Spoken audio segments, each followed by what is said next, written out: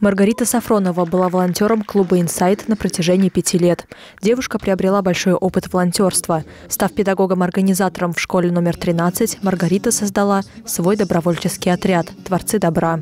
Ребята активно участвовали в весенней неделе добра и сделали много хороших дел. Мы приняли участие в таких акциях, как «Подари э, игрушку ребенку», устроили школьный субботник. Также мои дети провели акцию «Спасибо педагогу», которая э, помогла учителям понять, что они до сих пор важны, и их труд также является важным для каждого из учеников. Дети ее сами разработали, это был их проект, и они решили провести его в своей школе и показать учителям именно важность их. И такие эмоции, как испытали дети и учителя, это было просто что-то невероятное. Неделя взаимовыручки, позитива, помощи и добра. Ежегодная весенняя неделя добра подошла к концу.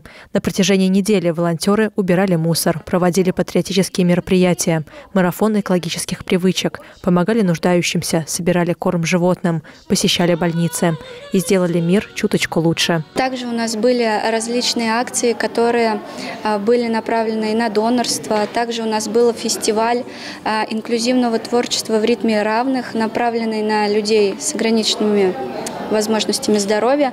А, он у нас проходил три дня. Все волонтеры были задействованы в городе. Многие волонтерские организации даже уходили из школ для того, чтобы помочь в этом э, большом деле.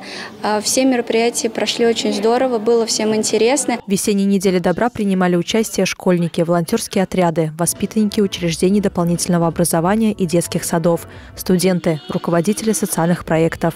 Свои добрые дела участники выкладывали в соцсети с хэштегом «Неделя добра Саров». Самых активных наградили на сцене молодежного центра. Также в рамках акции прошел экологический квест «Чистые игры».